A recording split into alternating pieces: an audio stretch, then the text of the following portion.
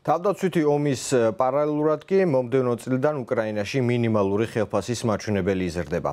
იზრდება სამხედრო ბიუჯეტიც.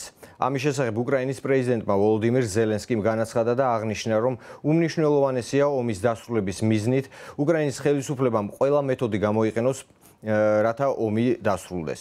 პრეზიდენტმა განსაკუთრებული ყურადღება გაამახვილა უპილოტო საფრენი აპარატების, როგორც ადგილზე წარმოების გაზრდაზე, ასევე ამ ტიპის შეიარაღების საზღვარგარეთ შესყიდვაზეც. მომდევნო წელს სამხედრო ინდუსტრიის ბიუჯეტს მნიშვნელოვნად ვზრდით. იმისთვის რომ უკრაინაში ვაწარმოოთ იარაღი და უპილოტო საფრენი აპარატები. ბიუჯეტი იზრდება როგორც ადგილზე წარმოების მიზნით, ასევე უცხოეთში შესაძენად. თითქმის 100 მილიარდი უკრაინული ჰრივნა იქნება გამოყოფილი იარაღის უკრაინაში წარმოებისთვის.